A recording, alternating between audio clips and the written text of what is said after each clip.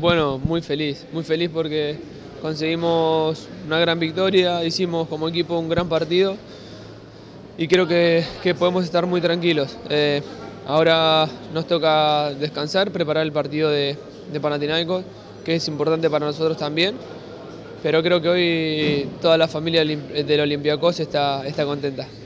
Bueno, es, para mí es una gran alegría que, eh, y un agradecimiento muy grande el haber salido aplaudido y, bueno, eso a uno lo, motiva a, que, eh, a seguir trabajando y a tratar de hacer las cosas bien.